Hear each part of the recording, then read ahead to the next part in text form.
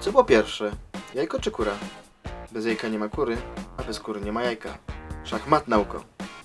Ten cykliczny paradoks jest nieustannie przytaczany jako zagadka nie do rozwiązania. Podobno dowodzi on, że są takie rzeczy na świecie, których człowiek zrozumieć nie potrafi.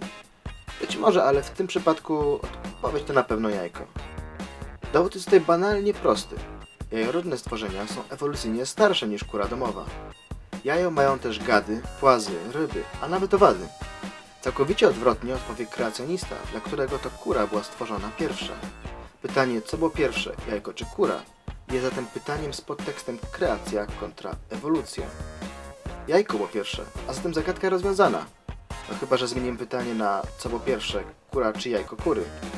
Wtedy jednak rozmowa będzie oscylować nad definicjami kury i jajka.